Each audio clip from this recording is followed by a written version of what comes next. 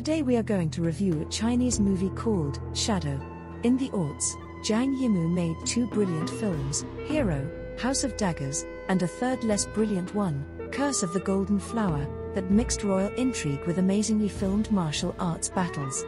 He's given us some brilliant, and not so brilliant films, since, but he hasn't returned to this particular style until The Brilliant Shadow, which both is and isn't a return to the earlier film style. The convoluted story involves a sneaky king, his sister, his scheming brother, his brother's wife, and his pretend brother, who is the protagonist, as they prepare for a battle to win back territory from a rival kingdom. The movie is stunningly filmed but very different from Yimou's earlier wuxia, apparently what this genre is called, films. Rather than vivid colors, everything is so muted that I think of it as a black and white film even though it's not.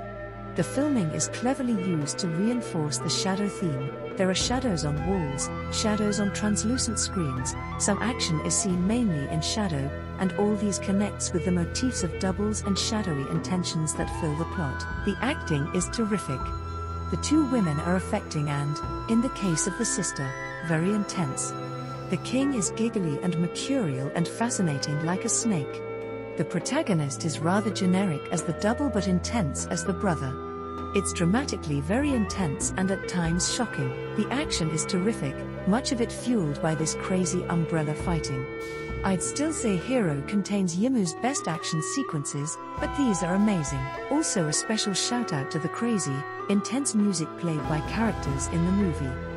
It's nothing like what I'm used to from Japanese traditional music in movies, and makes me wonder if that sort of intensity existed at the time and just never shows up in movies or whether they're playing with traditions. Yimou has made so many terrific films in so many genres, but he does this wuxia thing so well, and I'm so happy he decided to return to it now that he's found another approach.